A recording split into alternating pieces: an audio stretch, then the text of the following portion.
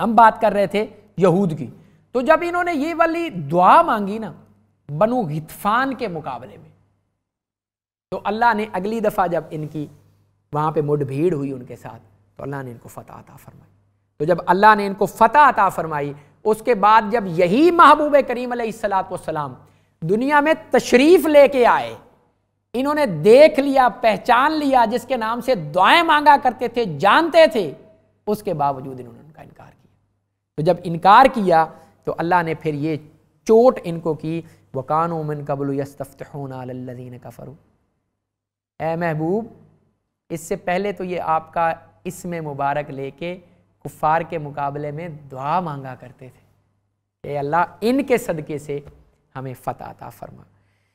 امام صدی علیہ رحمہ تفسیر تبری کے اندر ہے، ایک دوسری روایت وہ لے کے آئے ہیں کہ تفسیر تبری میں امام صدی رحمۃ اللہ تعالی علیہ فرماتے ہیں کہ عرب جب یہود کے پاس سے گزرتے تھے نا، ان کو تکلیف ہوتی تھی۔ اور تکلیف کیا ہوتی تھی کہ یہود تورات میں محبوب کریم علیہ السلام کی ساری نشانیاں پڑھ کے ان کو پہچانتے تھے۔ تو وہ ان کو کہا کرتے تھے، یہود کو عربوں کو کہ آخری نبی آنے والا ہے۔ ہم نے اس کے ساتھ مل کے تم لوگوں کے ساتھ کتال کرنا ہے۔ تم لوگوں سے ہم نے ساری باریاں لینی ہیں جو تم لوگ یہاں پہ ہمیں تنگ کرتے ہو، قتل کرتے ہو، ہمیں مارتے ہو۔ تو اس موقع کے اوپر صدی رحمۃ اللہ تعالیٰ علیہ فرماتے ہیں کہ یہ آیت کریمہ جب محبوب کریم علیہ السلام تشریف لے کے آئے اس موقع پہ یہ نازل ہوئی کہ پہلے تو تم لوگ کہا کرتے تھے خود سے کہ ہم نے ان کے ساتھ مل کے تمہارا مقابلہ کرنا ہے۔ یہی وہ وجہ تھی اور یہی وہ آیتیں تھیں، یہی وہ نشانیاں تھیں جو یہود بیان کیا کرتے تھے۔ اور اسی بیان کی وجہ سے جب پہلے چھ آدمی بیعت اقبا میں پیش ہوئے محبوب کریم علیہ السلاۃ والسلام کے پاس، آقا کریم علیہ السلام حج کے دنوں میں میں نے پچھلی اپیسوڈ میں بھی عرض کیا تھا کہ آپ حج کے دنوں میں نکلا کرتے تھے لوگوں کو تبلیغ کرنے کے لیے، تو چھ نیک روح میں، جن کا تعلق بنو خزرج سے تھا۔ مدینہ کے اندر دو قبیلے عربوں کے رہتے تھے، بنو اوس اور بنو خزرج۔ یہ بنیادی طور پہ دونوں کہتانی قبیلے تھے۔ یہ سارے جب یمن کے اندر سیلاب آیا ہے، سیل العرم جس کو کہا جاتا ہے، اس کے بعد یہ اٹھ کے یہاں پہ آئے ہیں۔ بنو اوس اور بنو خزرج آپس میں یہ بیسیکلی رشتہ داری تھے۔ ایک طرح سے آپ کہہ سکتے ہیں کہ کزنس تھے۔ بنو اوس کے سردار حضرت سعد ابن معاذ رضی اللہ تعالیٰ عنہ تھے۔ جن کے بارے میں اللہ کے پاک پیغمبر علیہ السلام نے فرمایا کہ سعد کی موت کے اوپر اللہ کا عرش بھی ہلا۔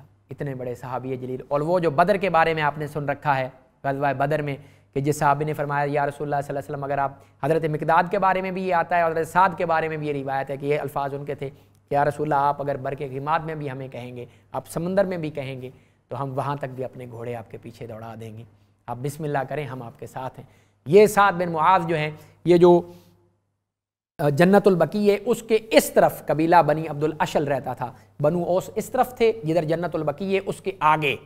اور جنت البقی کے اس طرف آئے مسجد نبوی، اور مسجد نبوی کے اس طرف جدھر ثقیفہ بنی سائدہ ہے، یہاں پہ دوسرا قبیلہ رہتا تھا، جس کا نام بنو خدرج تھا، جو بڑا قبیلہ تھا۔ اس لیے غزوہ بدر کے اندر بنو خدرج کی تعداد زیادہ تھی۔ ان کے جو سردار تھے، حضرت سعد ابن عبادہ رضی اللہ تعالیٰ عنہ ہیں، جو ثقیفہ بنی سائدہ، ان کے اکٹھے ہونے کی جگہ تھی۔ تو میں بات کر رہا تھا کہ یہی وہ لوگ تھے بنو خدرج جو وہاں پہ شیب کے اندر، ایک گھاٹی کے اندر حج کے موقع کے اوپر رسول اللہ صلی اللہ علیہ وسلم سے ملے۔ اللہ کے پاک پیغمبر علیہ السلام وسلم نے فرمایا، آپ کہاں سے ہیں؟ انہوں نے کہا، ہم یسرب سے ہیں۔ تو اللہ کے پاک پیغمبر علیہ السلام نے فرمایا، کس قبیلے سے ہو؟ فرمایا بنو خزرج سے ہیں۔ تو آپ نے فرمایا، آپ تو یہود کے حلیف قبیلے سے ہو۔ انہوں نے کہا ہاں ٹھیک ہے، بالکل اسی طرح سے آپ نے فرمایا سائڈ پہ بیٹھ کے بات کرتے ہیں۔ سائڈ پہ بات کی، اللہ کے پاک پیغمبر علیہ السلام نے اسلام پیش کیا۔ تو انہوں نے پہلے یہودی علماء سے یہ باتیں سن رکھی تھیں کہ آخری نبی آنے والا اس کی یہ یہ نشانیاں ہیں۔ تو انہوں نے فوراً سے کہا کہ یہ نشانیاں تو پہلے آپس میں آنکھوں آنکھوں میں نے کہا، یہ نشانیاں تو ہمارے پاس آلریڈی موجود ہیں۔ اس لیے انہوں نے وہیں پہ ایمان لے کے حضرت اسد بن زرارہ رضی اللہ تعالیٰ کا نام نامی اس میں، گرامی اس میں آتا ہے۔ جنہوں نے سب سے پہلے فرماتے ہیں کہ محبوب کریم علیہ السلام کے ہاتھ میں ہاتھ دیا۔ پھر افرا کے بیٹے تھے حضرت حارث بن عوف یا عوف بن حارث۔ پھر حضرت اقبا بن عامر رضی اللہ تعالیٰ عنہ حضرت قطبہ بن عامر، نام سے بن عامر سے یہی لگتا ہے کہ دونوں بھائی ہیں، دونوں بھائی نہیں ہیں، دو مختلف لوگ ہیں۔ حضرت اقبا بن عامر، حضرت قطبہ بن عامر رضی اللہ تعالیٰ حضرت مالک بن اجلان رضی اللہ تعالیٰ یہ لوگ ان چھ لوگوں میں شامل تھے، پانچ کے نام میں نے آپ کو بتا دیے۔ چھٹا آپ بھی خود سے جا کے دیکھ لیجیے اس وقت میرے ذہن میں نہیں ہے تو یہ یہود کی باتیں سن سن کے، وہ نشانیاں سن سن کے ایمان لے کے آئے۔ تو اللہ نے یہاں پہ یہود کو چوٹ کی ہے۔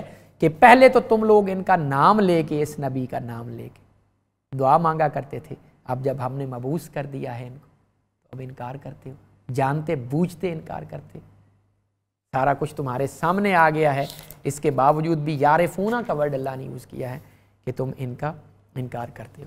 اگلی آیا کریمہ جس میں یہود کی مذمت کی ہے اللہ کریم نے، وہ سورہ بقرہ کی آیت نمبر نائنٹی فور ہے۔ نائنٹی فور اس میں اللہ کریم فرماتے ہیں کل انکانت لکم الدار الاخرت عند اللہ خالص من دون الناس۔ ختم الموت۔ ان کنتم صادقین۔ یہ وہی آیت کریمہ کا ایک طرح سے آپ کہہ لیں، جو میں نے آپ کو سورہ جمعہ کی پہلے سنائی ہے کہ کل یا ایوہ الذین ہادو سورہ جمعہ، اٹھائیسواں پارہ۔ کل انکانت لکم الدار الاخرت عند اللہ خالص من دون الناس۔ فرمایا محبوب کریم علیہ السلام فرما دیجیے کہ اگر آخرت کا گھر اور لوگوں یعنی مسلمانوں کے لیے نہیں اور خدا کے نزدیک تمہارے لیے ہی مخصوص ہے کل ان کانت لکم الدار الاخرت اللہ خالصتا من دون الناس، کہ اور لوگوں کے لیے ہے جو کچھ لوگ کہتے ہیں فاطم الموت تو اے محبوب، ان سے فرما دیجیے، آپ موت کی تمنا کیوں نہیں کرتے؟ ان کن تم صادقین، اگر تم اپنے دعوے میں سچے ہو۔ یہ ہرگز موت کی آرزو نہیں کریں گے جو کچھ یہ آگے بھیج چکے ہیں۔ واللہ علیم بالظالمین۔ اور اللہ ظالموں سے خوب واقف ہے۔ حضرت ابو عالیہ سے روایت ہے، تفسیر تبری کے اندر ہے کہ یہود کہتے تھے کہ جنت میں صرف یہود داخل ہوں گے۔ باقی اور کوئی بندہ جنت میں داخل نہیں ہو سکتا کیونکہ ہم اللہ کی چنیدہ قوم ہیں۔ اس پر اللہ نے ان کے اس دعوے کو جھٹلانے کے لیے سورہ البقرہ کی یہ آیت نمبر نائنٹی فور جو ہے، وہ اس کو نازل کیا اور نائنٹی فائیو کو بھی نازل فرمایا کہ اگر تم اپنے دعوے میں سچے ہو نا، تو پھر موت کی تمنا کیوں نہیں کرتے؟ بھائی جنت میں جانا کون پسند نہیں کرے گا؟ ہر بندے کی خواہش ہے کہ دنیا میں جو آزمائش ہے، اس سے خاتمہ ہو اور ہم آگے جائیں اور جنت میں جا کے سکون کی زندگی رہیں اور ہمیشہ کی زندگی وہاں پہ رہیں۔ جس کے بارے میں اللہ نے فرمایا، تیسویں پارے کے اندر قد افلح من تزکا وذکر اسم ربہ فصلا۔ بل تؤثرون الحیات الدنیا والآخرت خیر۔ ابکا ان هذا لفی الصحف الاولا صحف ابراہیم قد افلح من تزکا یقیناً کامیاب ہو گیا وہ شخص جس نے تزکیہ نفس اختیار کیا، جس نے اپنے آپ کو گناہوں سے پاک رکھا۔ وذکر اسم ربہ اور اپنے رب کے نام کا ذکر کرتا رہا فصلہ یعنی نماز پڑھتا رہا۔ بل تو سرون الحیات دنیا اور اے انسان، تم تو دنیا کی زندگی کو ہی سب کچھ سمجھ بیٹھے۔ والآخرت خیر۔ حالانکہ آخرت کی زندگی اس کے مقابلے میں کئی گنا اعلیٰ وابقا اور سب سے بڑی بات ہے کہ وہ ہمیشہ رہنے والی ہے۔ ان هذا لفی الصحف الاولا یہ وہ بات ہے جو ہم پہلے صحائف میں بھی لکھ چکے ہیں۔ صحف ابراہیم و موسیٰ۔ ابراہیم علیہ السلام کے صحائف میں اور حضرت موسیٰ علیہ السلام کے صحائف میں بھی یہ بات لکھی ہے۔ تو یہ ایک طرح سے یہودیوں کو بھی آپ کہہ لیں، اس طرف اشارہ تھا کہ وہ جو آخرت کی زندگی ہے، اس کا تم تقاضا کیوں نہیں کرتے؟ وہاں کیوں نہیں جاتے؟ اسی کو سورہ جمعہ میں اللہ نے فرمایا کل یا ایوہ الذین ہادو انزامتم انکم اولیاء للہ من دون الناس فتح منہ والموت ایگزیکٹلی آلموسٹ اس طرح کے الفاظ ہیں۔ وہاں پہ آیا ہے، ولا یا تمنا سورہ جمعہ ولا یا تمنا ہوا بدم بیما یہاں پہ آیا ولن یا تمنا ہوا بدم بیما باقی الفاظ سے میں ولا یا تمنا ہوا بدم بیما تم ہرگز موت کی تمنا نہیں کرو گے۔ ولا یا تمنا ہوا بدم بیما قدم تیدہم ولن یا تمنا ہوا بدم بیما قدم تیدہم واللہ علیم بالظالم۔ اللہ ظالموں کو خوب جانتا ہے۔ تمہیں پتا تھا کہ یہ محبوب میرا سچا ہے۔